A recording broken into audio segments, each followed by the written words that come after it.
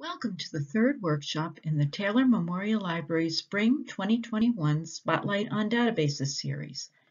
We're focusing these bite-sized workshops on one of our newest databases, Hein Online, to introduce you to its varied and plentiful content.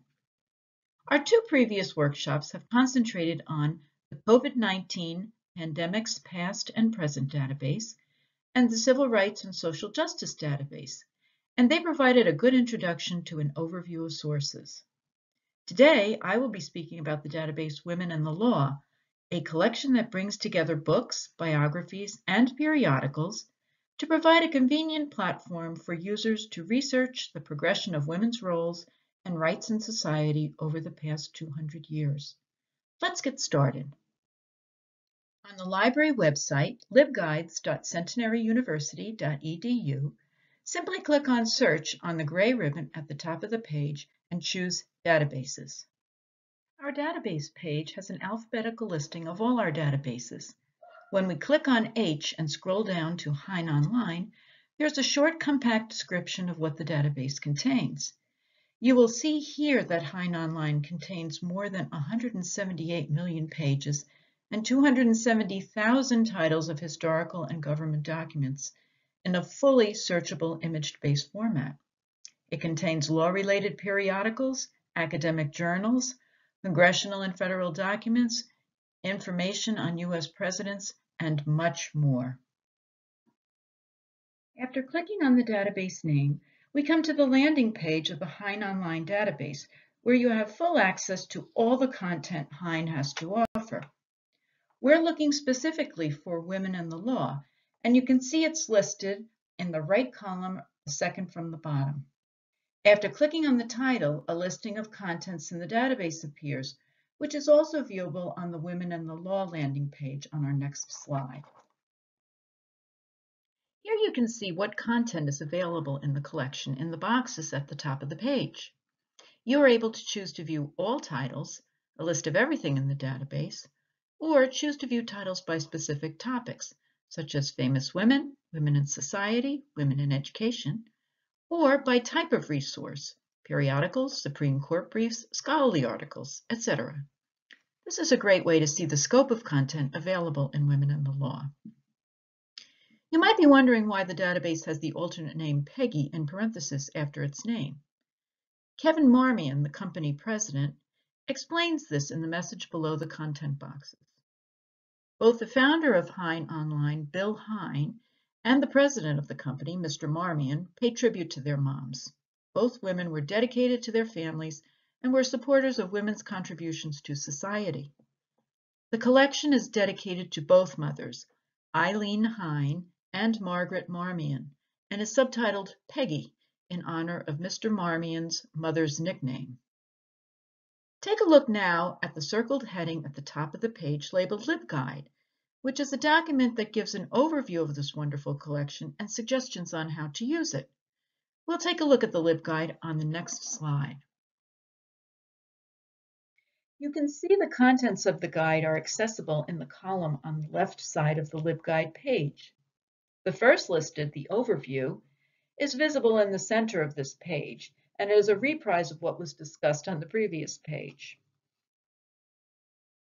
Tips on searching are next, and you can see there are suggestions for searching specifically for scholarly articles using extensive searching tools.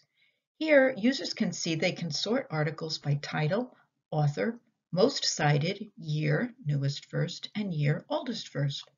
The scholarly journals box is highlighted in red, as is the sort by box to make it convenient to see. Further down on the page is an example of searching by author. The example used here is Ruth Bader Ginsburg. If you are looking for the article Sex Equality and the Constitution by Justice Ginsburg, simply enter her name into the search bar and choose Author from the drop-down menu. Results include all articles written by Ruth Bader Ginsburg, including the article searched for. Note in the citation how the database alerts the researcher that Justice Ginsburg has been cited 3,042 times in this collection. Notice further on the right side the options to download or email the document, as well as links to the 87 articles and two cases which have cited the work. Hein Online makes it so easy to find additional references. Next in our travels, we'll look at the Hein Online blog to see how the collection's bloggers have used this database to research and write about women's rights and their role in society both in the past and present. Here are some fascinating articles here. The 12 Female Firsts from American History for Women's History Month, 10 Things You Didn't Know About the First Lady of the World, of course Eleanor Roosevelt, and Ways to Research the Women's Suffrage Centennial. There's quite a bit of content in each of these blog posts, both for research and enjoyment, as you can see in the latest blog post. Pictures alone are amazing, so it's definitely worth a look at these entries. The help resources are quite good in the Hein online databases. On this page, you can see general help resources for using the database.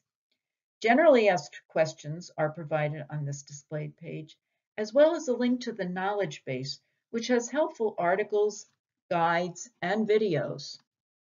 Take a look at all the support documents the company provides to assist you with useful searching techniques, not only for women and the law, but for all the databases which Hein Online offers. This help page also provides a link to the My Hein User's Guide, which shows how to set up a personal Hein Online account.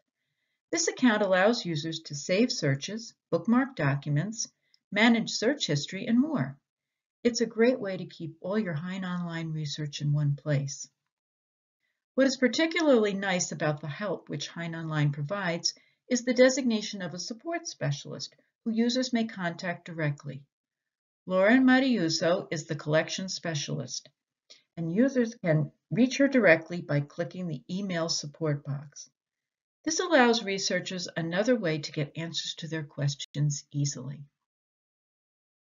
Finally, the last page of the Women in the Law LibGuide is entitled Contribute. The Hein Company is continually adding new material to this collection and encourages librarians to suggest content, especially if they have access to subject-specific books. If any of our users have recommendations to add to the database, please let us know. The librarians are happy to contribute by forwarding suggestions. This has been a brief look at Women in the Law, the Peggy Collection. When you have more time, please take a more in-depth look into the marvelous resources available in this great collection. And as always, we encourage all users to contact us with any questions. Chat with us, email us, phone us, visit the library, submit an Ask a Librarian form, or make a research appointment with a reference librarian. We're always happy to help. Thanks so much for joining me today. I hope you enjoyed a quick tour of another great Hein Online collection. As with this database and all our resources, we wish you happy searching.